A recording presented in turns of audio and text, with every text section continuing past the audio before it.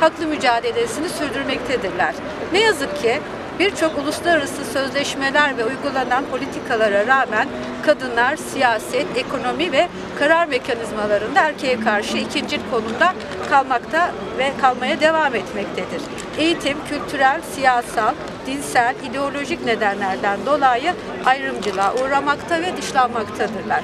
Dünyada yaşanan insan hakları ihlallerinin en yoğun şekilde muhatapları kadınlardır. Şiddet gören kadınların oranı ne acıtır ki her geçen gün artmaktadır. Ülkemizde her üç kadından bir tanesi şiddete maruz kalmakta. Engelli kadınlarımız ve kızlarımız eğitim, sağlık, ekonomik ve sosyal alanlarda çoklu ayrımcılığa uğramaktadırlar. Ülke gündeminden inmeyen kadın cinayetleri, çocuk gelinleri, çocuk istismarı, çocuk anneleri ve kadına yönelik şiddeti engelleyen, savaş ve göç mağduru kadın ve çocukların haklarını koruyan yasal düzenlemelerin ve bu konuda imzalanan uluslararası sözleşmelerin gereği yerine getirilmelidir.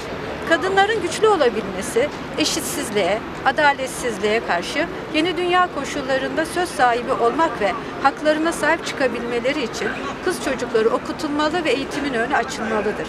Kadın toplumdaki yerinin ve değerinin artırılması için sadece kadın değil, erkekler de dahil olmak üzere toplumun tamamı eğitilmelidir. Eğitilen ve güçlenen kadın aile ve toplumda birey olarak yer almalı, sahip olduğu hakların değerini bilmeli ve haklarını korumalıdır.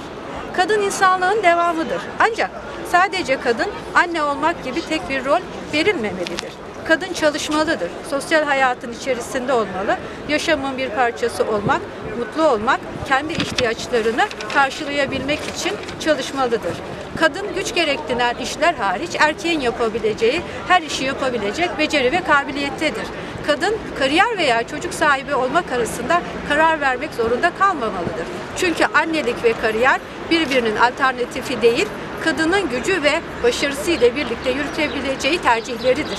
Bizler özgüvenli ve öz değerlerine sahip kadınlar yetiştirmeliyiz.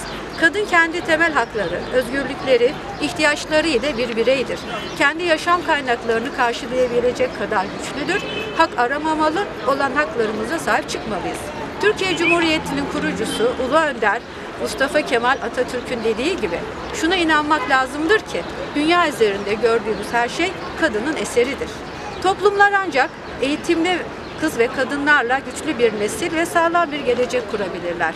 Kadının toplumdaki yerine ve önemine bilimde, sporda, sanatta, siyasette, ekonomide kadının gücüne ve başarısına sadece 8 Mart'ta değil her gün inanıyoruz, inanmalıyız ve